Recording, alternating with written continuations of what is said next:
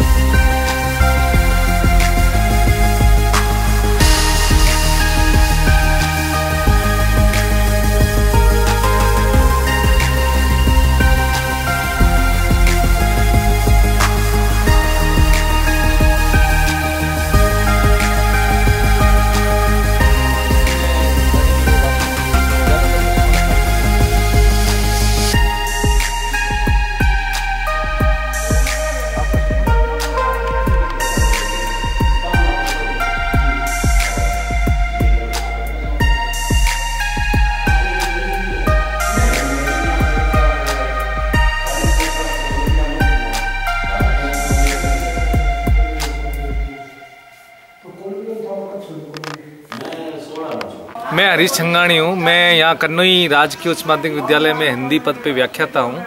और मेरी ये, मैं छंगाणी हूँ, इसलिए मेरी ये संचय माता कुल देवी का मंदिर है। तो हर नवरात्रा और नवरात्रा के अलावा भी मेरे यहाँ भाई की भी एक छोटी मूर्ति लगी हुई है। तो मैं यहाँ हर हफ़्ते में एक दो दिन यहाँ आता रहता हूँ। कई बार नाइट होल्ड भी करता हूँ। और अभी नवरात्रा में तो वैसे पूरा नौ दिन यहीं रहते हैं हम। और पूजा करते हैं, आरती करते हैं। ये जो मंदिर है, संचिया माता, ये हमारी हमारी भी और कुछ माहेश्वरी और कुछ राजपूतों की और कुछ जैनियों की भी ये कुल देवी है। संचिया माता का राजस्थान में दो मंदिर है। एक आपको ओशिया में मिलेगा, जो बड़ा वैभवशाली मंदिर है। ये मंदिर भी किसी समय किवंदती है, जब लोदरवा जैसलमेर की राजधानी थी। तो ये मंदिर भी उसी कैटेगरी का था और इसमें जो है बड़े बड़े उस समय जो है ये मंदिर बहुत विशाल अपने आय में, इस एरिया में बहुत विशाल मंदिर में, श्रेणी में शुमार होता था। और हक्केबंदी ये कहा जाता है कि अलाउद्दीन खिलजी के आक्रमण के समय ही इस मंदिर की जो है मूर्तियाँ और ये मंदिर को ध्वस्त किया गया था, जिसके अवशेष के रूप में हम वहाँ देख सकते हैं। और उस मूर्तियों में जो है, आप एक अलग प्रकार का जैन शैली पूरी उस मूर्तियों में आप देख सकते हैं जो किले के जैन मंदिर में भी है और जो ओशिया के जैन मंदिर में भी है। कितना पुराना है ये कब का हो सकता है? कुछ आइडिया है? ये मेरे ख्याल से कम से कम ये आठ सौ हज़ार साल पुराना मंदिर होना चाहिए। लुद्रवा तो कहते हैं कि दो ढाई हज़ार साल पुराना है। हाँ लुद्रवा से तो उसी अब ये अब इतना तो उसमें समत देखने में कहीं ना कहीं मिल जाएगा मैं उसको पढ़ने के लिए मतलब लुद्रवा के समकालीन लुद्रवा के समकालीन माना जाता है हाँ, जब लुद्रवा जैसलमेर की राजधानी थी और जब वो यादव वंशी यहाँ आए थे तो अपने लोधरवा पहले उन्होंने राजधानी बनाया था तो उसी के समकालीन है। और चूँकि ये बात भी इफ़ेक्ट है कि जैनिज्म जब है जब जैनिज्म के मंदिर बने उसी काल का ही बना हुआ है। क्योंकि जो इसकी मैं एक क्वेश्चन आपसे चाहूँगा। जो यहाँ कह सकते हैं कि जो ये थमलियाँ लगी हुई है हाँ। तो यह मतलब किसकी लगी हुई है कौन सी? जैसे ये जो यहाँ लगी हुई है हाँ ये कुछ अवशेष है जो हाँ इसके ऊपर अपन हम जा, जाके भी इसकी ओरिजिनलिटी पता कर सकते हैं कि कौन से सन में लगी हुई है। ये किसी न किसी रूप से किसी न किसी व्यक्ति विशेष की उस समय लगाई गई है।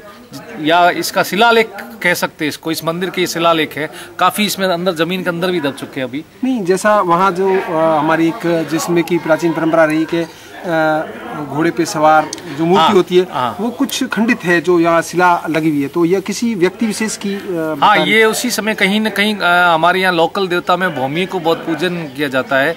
तो ज़्यादातर जो भूमि किसी के पित्र में होते हैं किसी के वंश में होते हैं तो ज़्यादातर उनकी जो मूर्ति बनाई जाती है वो घोड़े पे ही बनाई जाती है। क्योंकि ये माना जाता है कि वो घोड़े की असवारी करते हैं। और इसलिए वो बड़े पूजनीय होते हैं और बड़ा महीना जब भी होता है भाद्रा महीना जिसमें बड़ा मास होता है तो उस पूरे महीने पंद्रह दिन जो है चांदने पक्ष में शुक्ल पक्ष में हमारे यहाँ जितने भी जैसलमेर में देवियों के मंदिर हैं और प्लस कुल देवता हैं उनको वहाँ पूजनीय किया जाता है। इसमें आपको मेरे ख्याल से एक आपने देखा होगा तो उस पुराने मंदिर उस मूर्तियों में एक भैरव की भी मूर्ति है। तो ये बात फैक्ट है कि हम माने चाहे न माने जहाँ हमारी कुल देवी होती है वहाँ निश्चित रूप से कुल देवता के रूप में भैरव विद्यमान होगा। वो मंदिर के आसपास कहीं बार विराजमान मुसलमान होते हैं। तो अब कई लोगों को तो ये हो चुका है अपने समाज में, अपने हिंदू धर्म में, अपना वो मूल जब स्थान छोड़ चुके हैं तो अपनी कुल देवी और कुल देवता को भूल चुके हैं। और जब कुल देवी और कुल देवता को उनका ज्ञात भी नहीं है कि उनके कुल देवी और कुल देवता कहाँ हैं। कई लोग जब इनको मालूम चलता है और जब वो अपना दर्शन करने यहाँ आते हैं अपनी कुल देवी या जहाँ भी वो अपनी कुल देवी देता है तो उनके कई काम सफल होते देखे हैं। ये मेरा खुद का व्यक्ति विशेष, मेरा अनुभव भी है, मैंने अध्ययन भी किया है और मैंने देखे भी हैं।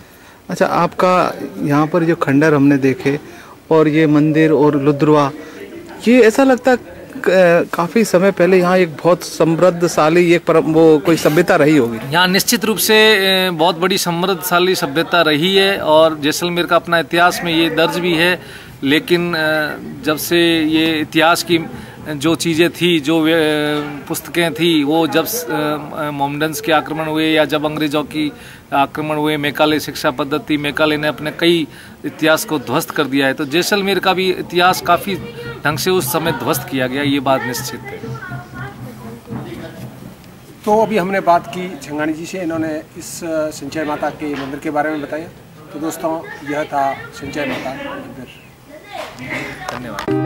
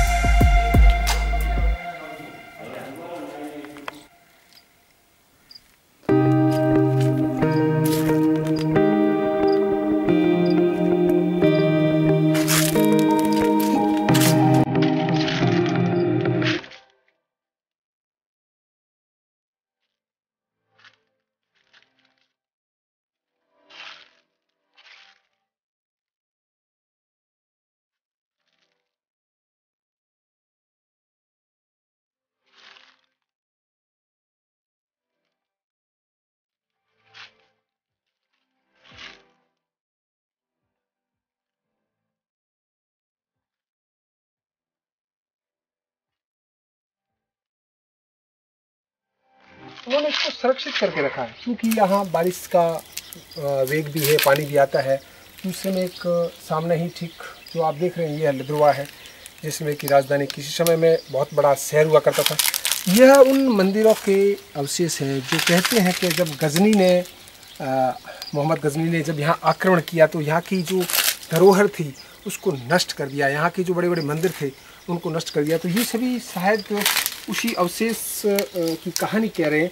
हमने आपको बताने का प्रयास किया और अभी हम लेके आए थे आपको संचय माता के मंदिर। तो दोस्तों इसी तरह हम और भी आपको कई स्थान दिखाते रहेंगे। तो आज के लिए हमें दीजिए इजाज़त। जय हिंद।